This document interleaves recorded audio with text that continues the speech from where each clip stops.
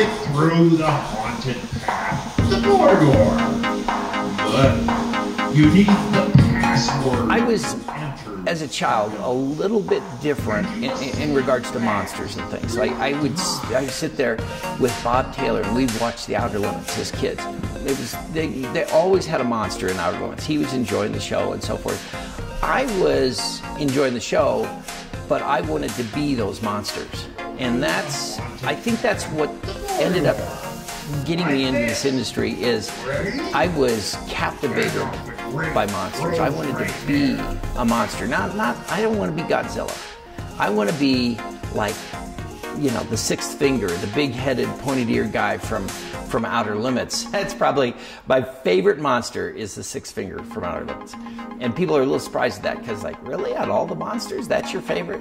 That to me was unbelievable. My second favorite is the alien from Aliens.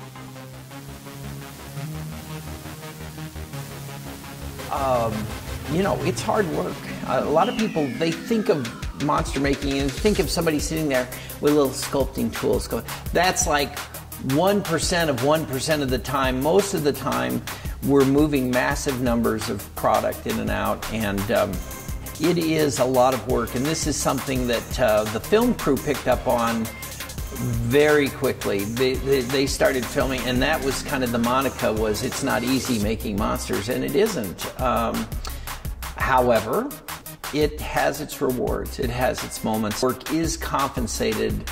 By the end of the day, you you have something to show for your work, and and people really enjoy it. When it comes to monsters, the people that buy them, the people that see them, they really enjoy what we do.